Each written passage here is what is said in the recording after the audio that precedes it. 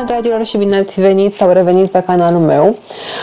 Astăzi, după cum s-a văzut în titlu, vreau să vorbim despre acele Elevated Basics. Dacă mă urmăriți de ceva timp, poate că ați observat că încerc să evit pe cât posibil rongleza. Nu, nu, nu întotdeauna este posibil. Uh, nici nu mă strofoc foarte tare pentru că știu că nu întotdeauna este posibil și că unele, te, unii termeni nu sunt deloc traductibili, cum este și acesta de Elevated Basics. Așa că haideți să vă zic ce înseamnă pentru mine, ce am înțeles eu care înseamnă aceste Elevated Basics, fără să le pot traduce, doar să le explic puțin pentru început. Toți știm ce înseamnă Basics, articolele de bază în garderoba noastră, cele simple, linii curate, clasice, care în principiu nu se demodează sau variază foarte puțin în modă de-a lungul timpului, o cămașă albă, un pantalon negru de stofă, un jeans clasic și așa mai departe un sacou clasic, croit clasic, întotdeauna o să fie niște elemente de bază în garderobă, un tricou alb și așa mai departe. Mai zic câteva cuvinte și mai bine cât un exemplu. Dar mă opresc aici pentru că în principiu cam despre asta e vorba și cam știți cu toții ce sunt și care sunt alea. Aceste elevated basics, uh, m-am chinuit să găsesc o traducere, cum vă ziceam, pentru termenul elevated, dar nu, nu există. Chiar nu există. Dacă știe cineva mai bine, să mă contrazică, n-am nicio problemă, chiar sunt curioasă să aflu lucruri pe care nu le știu întotdeauna. Dar din ce am căutat eu, din ce am încercat să-mi dau seama, nu există. S-ar putea spune că sunt acele elemente basic care sunt mai uh, dichisite sau mai sofisticate sau mai uh, neobișnuite. Uh, ceva de genul ăsta. Cam pe direcția asta aș merge cu o încercare de traducere a termenului de elevated, dar niciunul ne fiind așa traducerea perfectă unul la unul. Elevated în principiu vine de la a ridica, ridicare, elevator, lift și așa mai departe. Deci în, în sensul că sunt cumva superioare, dar nu neapărat că sunt uh, mai bune decât articolele basic, doar că sunt cumva mai uh, sofisticate, cred că ar fi direcția în care m-aș duce. Sunt puțin mai neobișnuite, sunt puțin mai lucrate, sunt, uh, în ele s-a investit așa un pic mai multă atenție în detalii și uh, nu vorbesc numai de finisaje impecabile pe care le pot avea și articolele basic, dar vorbesc de elemente puțin uh, peste ce au articolele basic. Ceva în plus, ceva ornat, ceva mai sofisticat, dar atenție că nu tot ce înseamnă ornat este și de bun gust. Nu, nu neapărat uh, dacă un articol uh, are ornamente înseamnă că este și ce trebuie și că este acel elevated basic despre care vreau să vorbim astăzi. Dar mă rog, asta fiind o paranteză, uh, cred că o să mă opresc aici. Um, haideți să începem și cu niște exemple eventual. Am adus și eu aici lângă mine câteva lucruri. Bine, am și eu așa la purtător ceva care să exemplifice cam ce înțeleg eu, cum v-am zis, prin Elevated Basics. Este această bluză, într-adevăr, basic, simplă, neagră, uh, pe lângă corp, de la H&M. Este un material foarte gros, dur, bățos, îmi place foarte mult calitatea materialului. Nu cred că se vede, chiar dacă vine așa aproape să vă arăt, arată ca o bluză normală, o țesătură normală, uh, puțin mai plină, dar este foarte, foarte grea. Așa, și uh, are aici o interesențenie la decolteu prin asimetria asta. El vine aici rulat în jos și aici vine foarte simplu și are um, decolteul ăsta, cum vă ziceam, asimetric. Și asta îl face pe el, mă rog, sau pe ea, că e o bluză, să, fie, să intre în categoria de elevated basics, din punctul meu de vedere. Pentru că putea să fie o bluză simplă, cu un decolteu simplu, în V sau la baza gâtului, sau, da, mă rog, putea să fie și o maletă, uh, dar uh, a ajuns să fie așa ceva.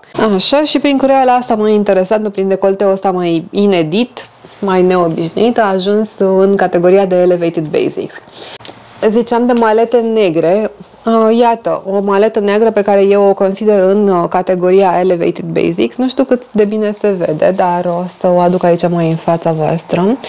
Este efectiv pur și simplu o maletă neagră simplă, doar că are partea de sus a decolteului uh, gâtul, partea de gât de la, ca un decolteu în V și pe gât în sus, din dantelă și în față și în spate. Cred că vedeți transparența, că mă vedeți pe mine prin spate.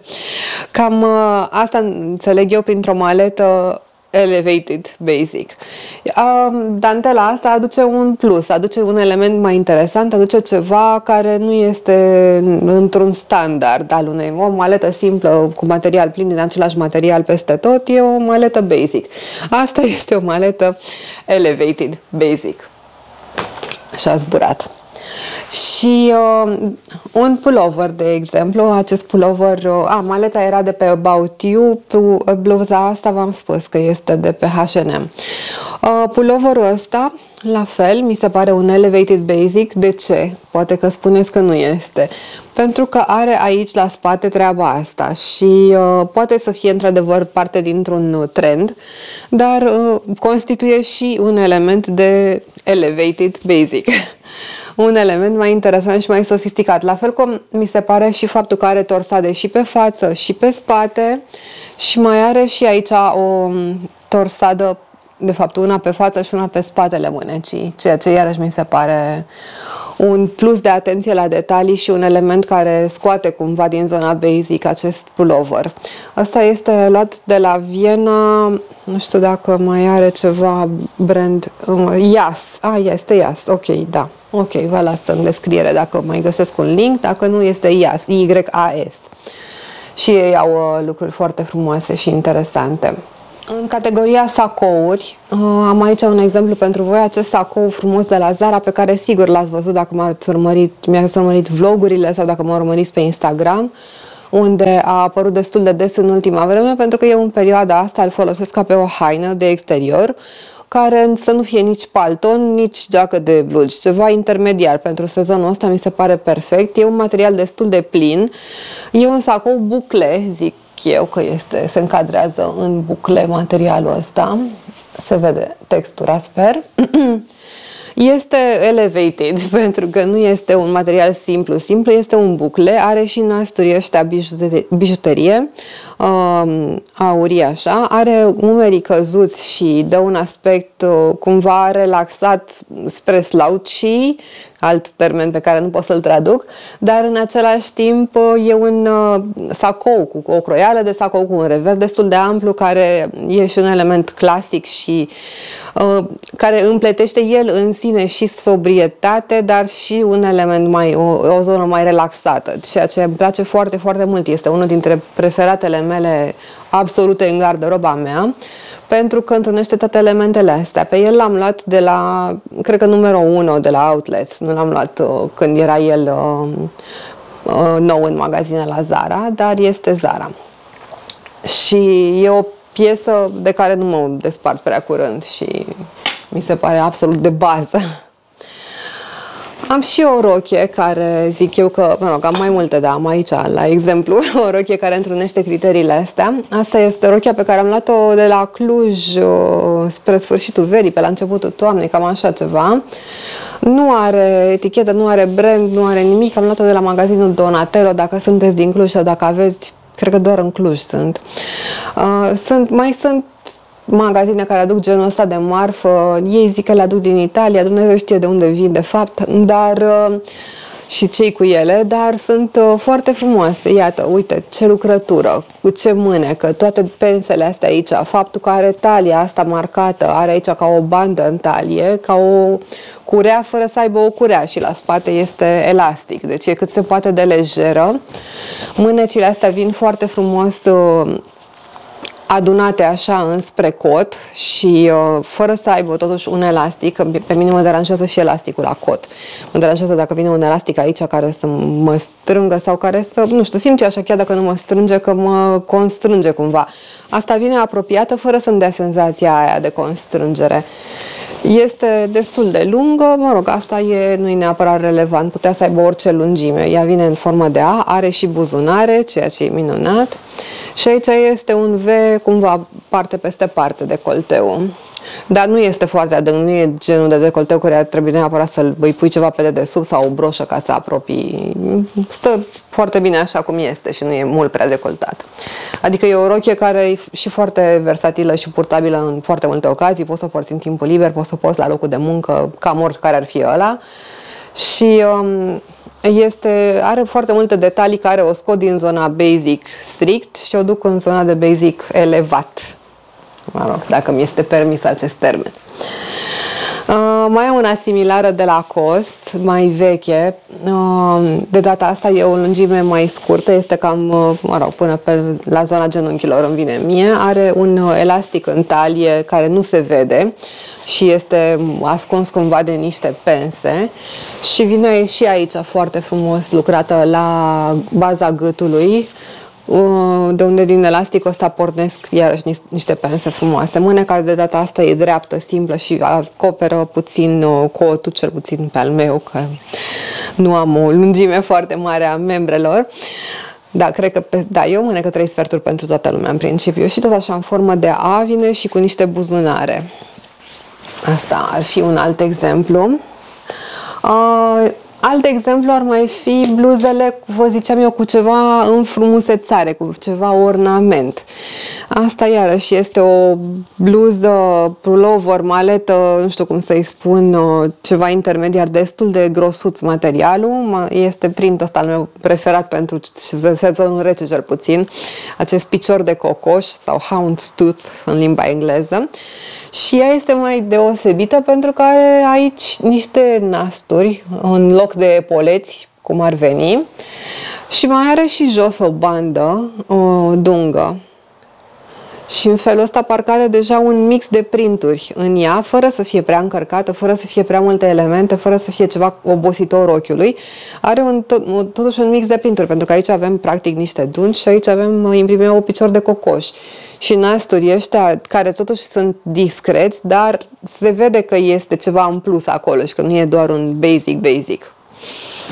Cam asta este. Și un alt exemplu ar mai fi un plover de genul ăsta, care are umerii ăștia bufanți, care vin tot așa apropiați în zona cotului, au același gen de umeri ca rochia prima pe care v-am arătat-o. De, am zis umeri, nu, cred că mâne am vrut să spun. Uh, și are și nasturii ăștia bijuterie. Uh, foarte frumoși, foarte dichisiți.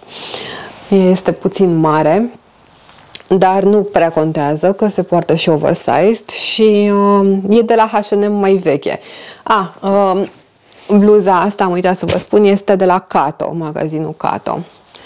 Și cam astea sunt câteva exemple pe care le-am adus eu acum aici. Deci, un articol basic elevat este un articol uh, basic puțin mai sofisticat, puțin mai neobișnuit, care are un element suplimentar de decor sau o asimetrie sau ceva care îl scoate din zona de basic. Ele, după articolele basic, ar fi cumva pasul următor. Întâi trebuie să ne asigurăm că avem așa toată zona basic acoperită, câteva elemente strict necesare pe care să le putem folosi în foarte multe ținute care să fie cumva esența garderobei noastre ca într-o ca garderobă capsulă, dacă vrem să pornim de la ideea de garderobă capsulă în care avem câteva elemente care se potrivesc toate între ele și care ne ajută să creăm mai multe ținute. Cam asta ar însemna garderoba capsulă.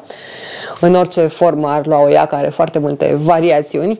Chiar lăsați-mi în comentarii dacă vreți să fac un video despre garderoba capsulă în interpretarea mea și în momentul de față, pentru că se poate face în foarte multe feluri și da, mă rog, sigur, fiecare vine cu interpretarea personală. Uh, eu nu pot să spun că am, adică sigur am o garderobă capsulă, dar am și multe haine peste care nu fac parte din garderoba capsulă, adică nu mă acces atât de mult pe ideea de a avea doar o garderobă capsulă și cred că nimeni nu poate să facă asta cu adevărat.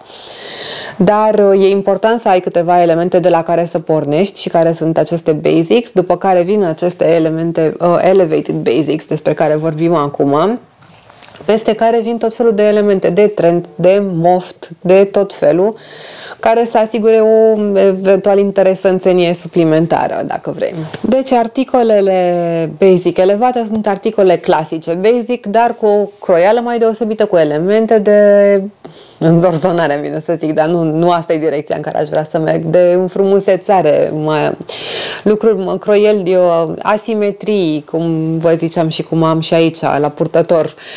Articole basic elevate pot fi și uh, metalicele, de ce nu? Ca să ne legăm acum și de un element care e foarte în trend în momentul de față. Uh, efectiv, un uh, șacou simplu, dar clasic, o geantă simplă care putea să fie albă sau neagră, dar este metalică, metalizată, într-o culoare metalizată. Un pantof stiletto simplu care putea să fie alb, negru, bej, dar într-o culoare metalizată, argintiu, auriu sau, mă rog, orice culoare, dar metalizat. Pot fi articole așa foarte, foarte simple, cu o croială basic, cu toată structura basic, dar uh, într-o culoare atipică și ieșim uh, așa în felul ăsta în, spre basic uh, elevat. La fel sunt articolele din piele, că e piele naturală, că e piele artificială, nu mai contează. Și ele mi se pare că se încadrează în marea majoritate în categoria de basic elevat. Un pantalon de piele, de exemplu, nu este neapărat un basic, dar Poate să fie exact ca un basic care e făcut din, fiind făcut din piele, se duce în zona de basic elevat. La fel o cămașă din piele, un sacou din piele, toate mi se pare că se duc în zona de basic elevat. Asta sigur dacă nu merg într-o altă zonă mai uh, sexy și cu alte valențe. Dar dacă sunt uh, acele uh, croieli clasice, simple, pe care le găsim și la alte elemente din stofă, ele fiind făcute din piele, sunt basic elevate. Cam astea au fost exemplele, cam asta mi se pare mie că înțeleg eu prin basic elevat. Um, de ce să le purtăm acum, ar fi întrebarea. Ce facem noi cu ele? Păi, cum vă ziceam, sunt după articolele basic, zic eu că sunt următorul lucru de care, următoarea categorie de articole vestimentare sau accesorii de care avem nevoie. De ce? Pentru că ele sunt puțin mai dichistite, mai înfrumusețate, mai stilate, mai lucrate, mai detaliate, mai inedite de obișnuite și așa mai departe. Și prin asta, evident, o să aducă un element în plus de interes în ținutele noastre. O să fie o bluză de genul ăsta, nu că o bluză simplă nu ar fi ok, dar o bluză de genul ăsta o să fie întotdeauna un pic mai interesantă decât o bluză simplă. Uh, putem să aducem un uh, articol care este basic elevat, să-l purtăm într-o ținută cu alte elemente care sunt toate basic, basic, 100% și în adevăratul sens al cuvântului. Și prin asta adăugăm un singur element de interes. Bineînțeles că nu trebuie neapărat să fie toată ținuta făcută numai din articole basic elevate, pentru că nu știu, poate să fie prea multe elemente și nu mai știi unde să te uiți și nu mai știi care atrage atenția, la fel cum dacă ai prea multe elemente statement, toate îți atrag atenția și poate să fie prea încărcat. Și aici, la fel, se poate face și o ținută din basic, numai din, din elemente basic elevate, dacă sunt uh, mai uh, simple și se potrivesc armonios între ele, dar putem să luăm și un articol basic elevat pe o ținută din articole în rest basic și să arate foarte frumos și să întregească frumos ținuta și poate să adauge un element de interes ținutei totuși în același timp asigurând uh, că rămânem într-o zonă foarte simplă, poate chiar minimalistă și foarte curată, dar cu ceva interesant ca element uh, suplimentar. Ce mai fac uh, ele foarte bine, aceste basic elevate, uh, ne diferențiază de ceilalți care, ca noi, poate poartă niște ținute simple, care poate poartă niște ținute minimaliste, care poartă ținute făcute din articole basic, ne diferențiază de ei. Nu mai suntem toți la fel, nu mai suntem toți în exact aceeași linie. Putem să avem elemente comune, dar putem să avem și câteva elemente distinctive și prin care ne exprimăm personalitatea și o, o distinție cumva față de ceilalți și în sensul de diferențiere și în sensul de distinție, în sensul de ceva mai distins. Și asta mă duce la următorul motiv pentru care um, mă gândesc că e bine să optăm pentru articole basic elevate. De multe ori, uh, dacă sunt într-adevăr uh, lucrate bine, croite bine, făcute bine, mm, gândite cu bun gust, adaugă clasă ținutelor. Întotdeauna un uh, articol care are un nasture mai deosebit, care are un detaliu mai lucrat și mai, care pare mai scump, care poate este sau nu este, dar pare mai scump decât articolul basic, o să dea clasă ținutelor. Ce altceva mai fac ele foarte bine, aceste Elevated Basics, um, știu să ne punem în valoare silueta, dacă noi știm să le alegem în așa fel încât să ne punem în valoare silueta sau să ascundă ce vrem să ascundem. Pentru că ele de multe ori, uh, aici vorbesc de cele cu niște croieli mai deosebite, cu niște volumetrii mai uh, ieșite din comun. Dacă optăm pentru așa ceva, de multe ori uh, putem să ne jucăm foarte mult cu volumele astea și să ne, cum ziceam, punem în valoare silueta sau să ne ascundem lucruri pe care vrem să le ascundem putem, uh, nu știu, eventual un număr uh, uh, cu burete, un număr ridicat, un joc de croieli pense și uh, volumetrii în zona taliei, care poate să facă talia să pară mai îngustă decât este sau șoldurile mai late, dacă e cazul, dacă nu e, bineînțeles, nu e. Uh, și așa mai departe. Sunt mai multe exemple posibile, dar prin volumetrii pense, bureți, uh, croieli uh, inedite, putem să ne jucăm și putem să ne ajutăm și de ele ca să ne punem în valoare silueta. Cer scuze pentru sirenă un geam deschis. Deja se simte primăvara. O să avem mai multă gălăgie în video de acum încolo, o să stau geamurile deschise. Cam astea ar fi în mare motivele pentru care să optăm pentru genul ăsta de articole. Cred că sunt uh, și destul de multe și mai ales destul de solide ca să ne convingă.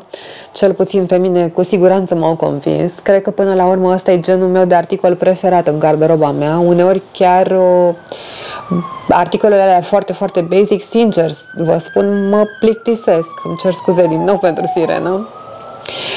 Uh, uneori articolele foarte basic mă plictisesc, ziceam. Uh, nu, nu m-am putut îmbrăca niciodată într-o ținută făcută numai din basic, din cap până în picioare, cred. Nu am nicio amintire concretă pe chestia asta. Întotdeauna o să vreau un element surprinzător, un element inedit, un element uh, deosebit într-o direcție sau în alta. Că vreau să merg pe o zonă mai luxoasă, că vreau să merg pe o zonă mai creativă, inventivă, interesantă, ceva sau într-o, într-un stil, cum ar fi grunge, punk sau ceva, întotdeauna o să am cel puțin un element în, uh, sau mă rog, 99% din ținutele mele o să am cel puțin un element uh, care să fie din zona de basic elevat, pentru că face o diferență foarte mare și și este și genul de element care nu este neapărat din trend a doua zi.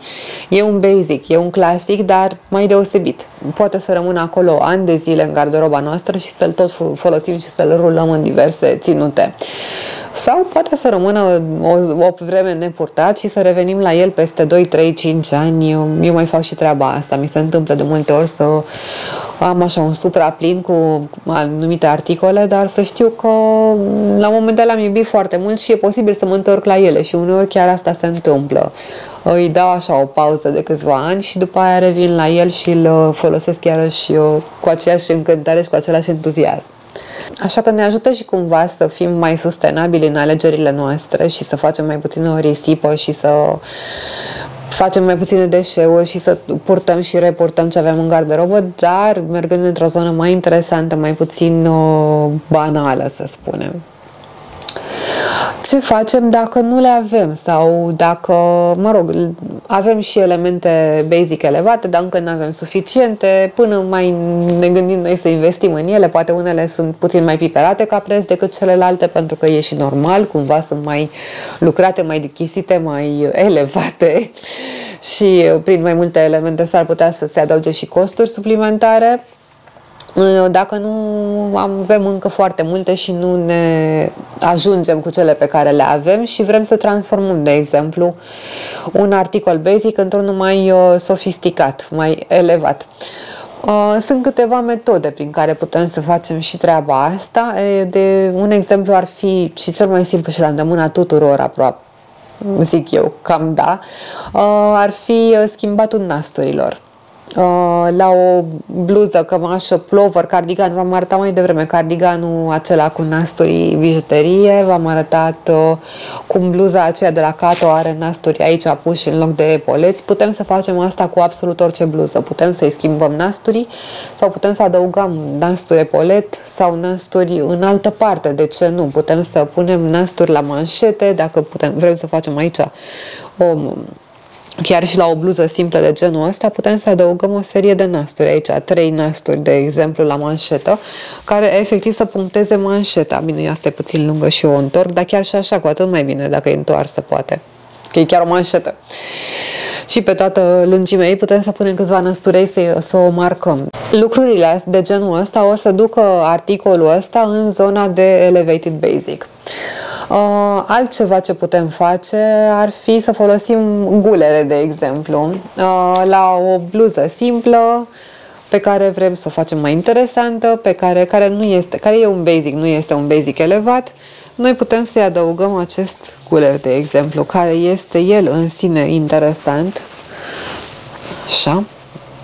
Uh, cred că vi l-am mai arătat, o să-l scot acum ca să ne auzim în microfon mai bine. Cred că vi l-am mai arătat, ăsta e un guler asimetric foarte frumos de la Marmuse.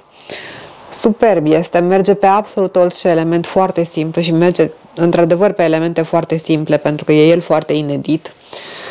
Și da, le scoate din zona basic în mod categoric și le duce într-o zonă de basic elevat. La fel, acest guler, ăsta este de pe Shein și tot așa, mă rog, astea sunt gulerele mele, dar pot fi foarte multe alte exemple de asemenea detalii care se pot aplica peste articolele noastre basic și să le facă, să le transforme. E ca și cum ar fi parte din articol și îl transformă dintr-un basic într-un basic elevat.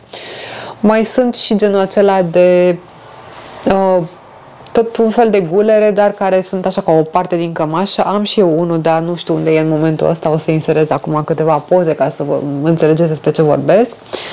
Genul de ceva între guler și vestă. Cam așa ceva care întregesc o ținută și dau așa un plus de interesanțenie.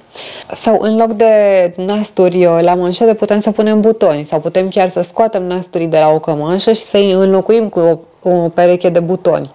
Și asta cred că deja o, clar duce cămașa într-o zonă mult mai elegantă, mult mai potrivită pentru seară sau pentru evenimente mai formale, mai gen recepție și așa mai departe, dar se poate purta și toată ziua.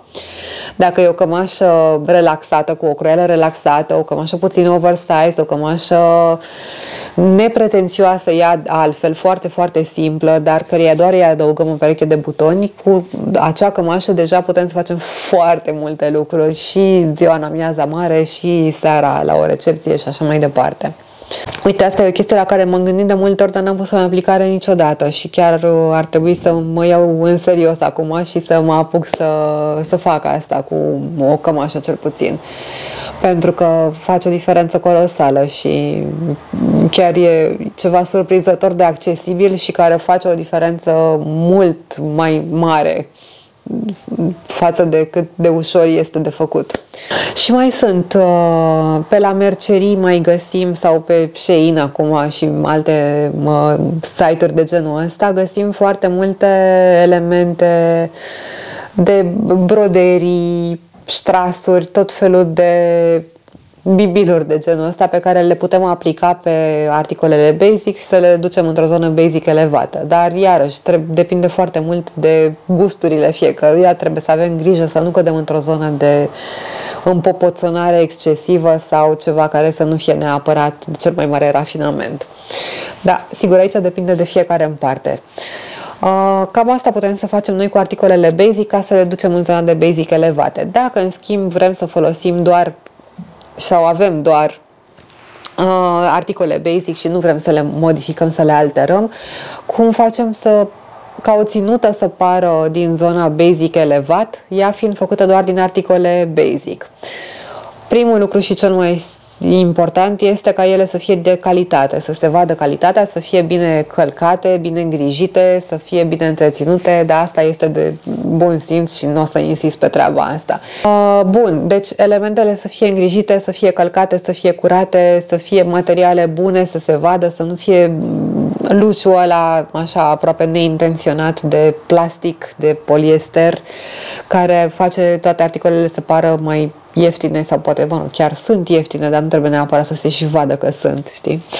Poate să fie o cămașă din poliester, de multe ori cu, la același preț cu o cămașă din bumbac și întotdeauna alegerea mea o să fie pentru cea, cea din bumbac, chiar dacă se șifonează, chiar dacă poate nu se așează la fel de ușor și de bine ca cea din poliester, dar întotdeauna o să se vadă mai bine calitatea pe ea și știu că și corpul meu se simte mai bine în ea, dar asta deja face subiectul altor videouri. Nu vreau să insist pe asta aici, acum.